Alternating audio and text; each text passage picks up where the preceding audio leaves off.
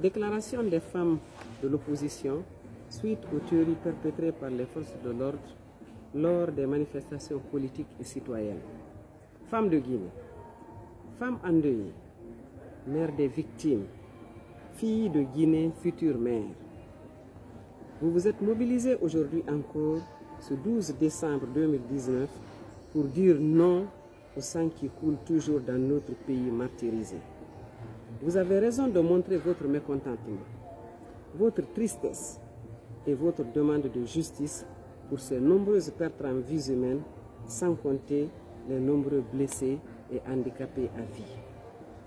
Femmes et filles de Guinée, depuis plusieurs mois maintenant, nous avons pris des contacts, fait des plaidoyers, effectué des marches blanches, donc pacifiques, pour exiger l'arrêt des tueries des Guinéens innocents, surtout ceux morts dans l'exercice de leur droit constitutionnel de manifester.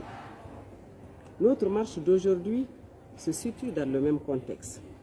Nous voulons un arrêt définitif à ces exactions, conduisant à des pertes en vies humaines de Guinéens innocents. Nous voulons que des enquêtes sérieuses soient menées autour des tueries pour que les auteurs et les commanditeurs soient punis conformément à la loi.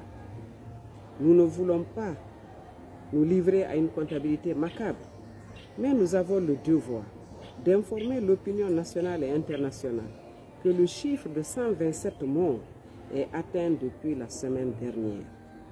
Cela ne laisse pas une femme tranquille. Nous ne sommes pas loin des 157 Guinéens massacrés au stade du 28 septembre en 2009, classés dans la catégorie de crimes contre l'humanité. Femmes de Guinée, notre appel a été entendu par Amnesty International, qui a, dans son rapport annuel, demandé au gouvernement guinéen de clarifier le cas de près de 70 morts depuis 2015. Tout récemment, l'un des Guinéens les plus respectés, le cardinal Robert Sarah, a poussé un cri de cœur et exigé l'arrêt des tueries ainsi que la fin de l'impunité dans notre pays.